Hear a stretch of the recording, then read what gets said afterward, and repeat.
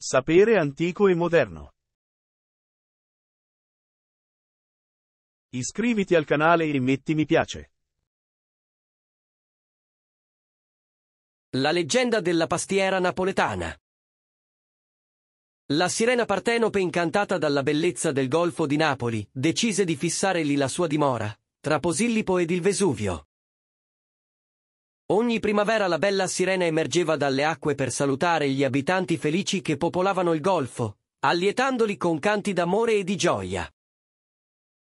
Una volta la sua voce fu così melodiosa e soave che tutti gli abitanti ne rimasero affascinati e rapiti. Accorsero verso il mare commossi dalla dolcezza del canto e delle parole d'amore che la sirena aveva loro dedicato. Per ringraziarla di un così grande diletto, decisero di offrirle quanto di più prezioso avessero. Sette fra le più belle fanciulle dei villaggi furono incaricate di consegnare i doni alla bella Partenope. La farina, forza e ricchezza della campagna. La ricotta, omaggio di pastori e pecorelle.